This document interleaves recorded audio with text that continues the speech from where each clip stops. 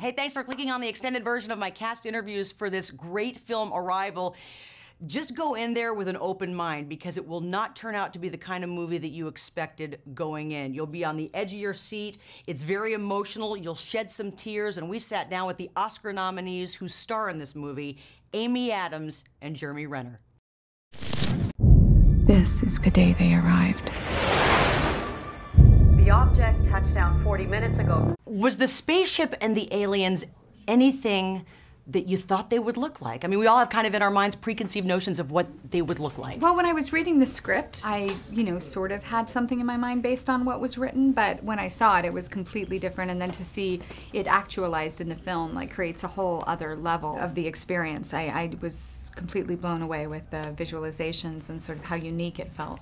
I was blown away by the movie. We actually did a screening. We had Kurt Warner, NFL star, future Hall of Famer, his kids there. A lot of wow. guys who were expecting some sort of disaster film, and it's anything but that. Yeah, were they crying in the end? Please tell Some of me. them were. Please tell me he was crying. No, Yes.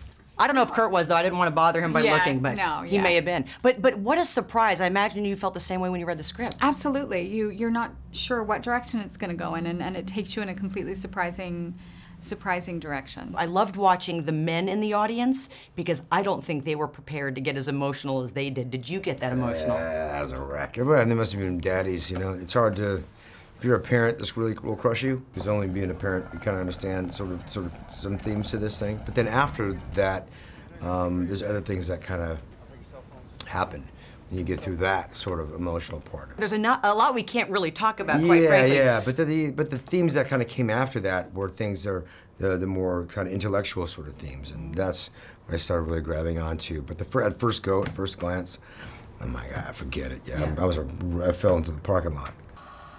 Where did you come from?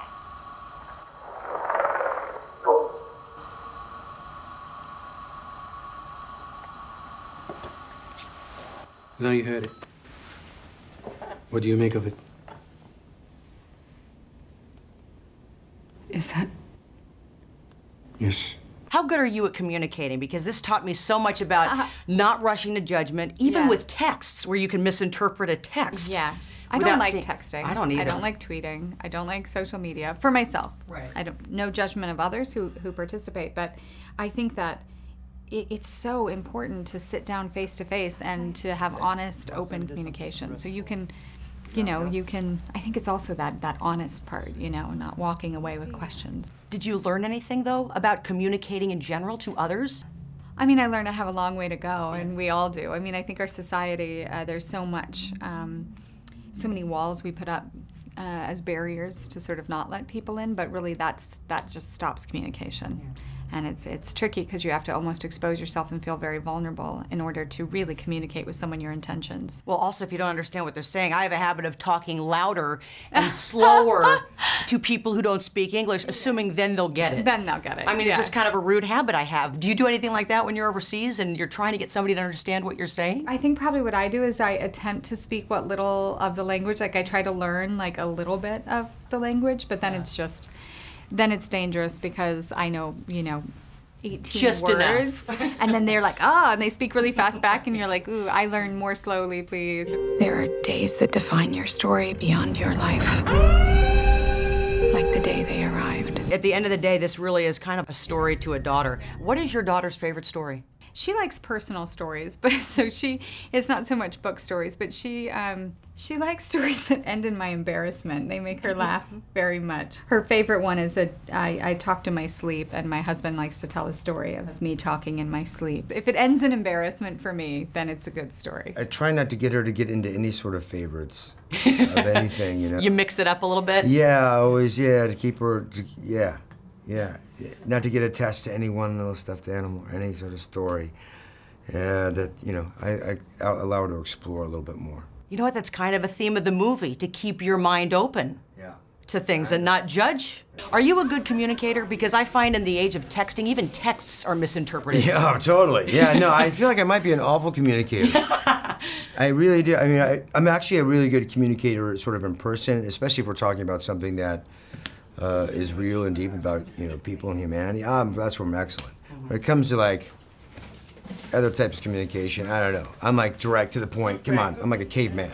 when it comes to basic communication. Here's an example, like with a director and a director I love. I'm like, if you can't say it in a sentence, do not talk to me. Don't say it at all.